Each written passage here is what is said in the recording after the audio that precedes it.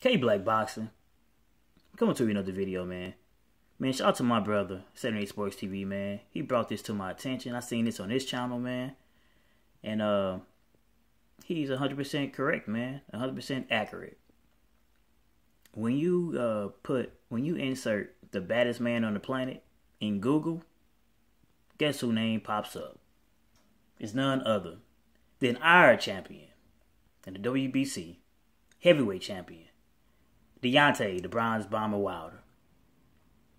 Yep. Uh, only reason why I'm not uh, putting my camera towards the computer screen because I'm out and about right now. I'm not at home. Other than that, I will show you. But uh, like my brother, Seven Eight Sports TV, he uh, he shows you. And uh, hey, seeing is believing. So guess what, man? Put in Deontay the Bronze Bomber Wilder. Excuse me. Well, put in the baddest man on the planet, and you'll see that it's Deontay the Bronze Bomber Wilder. Yeah, Mike Tyson's there as well, but the picture of Deontay Wilder is there. Also, you know, you can't argue with the facts, man.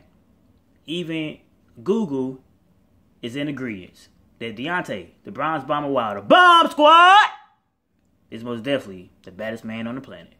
Man, shout out to the whole LDBC. Like, comment, subscribe.